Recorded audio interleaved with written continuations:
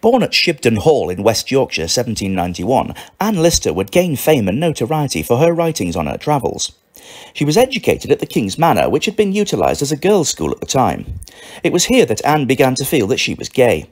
Later, she would be mockingly referred to as Gentleman Jack. She met Anne Walker in 1832, and the pair quickly became lovers.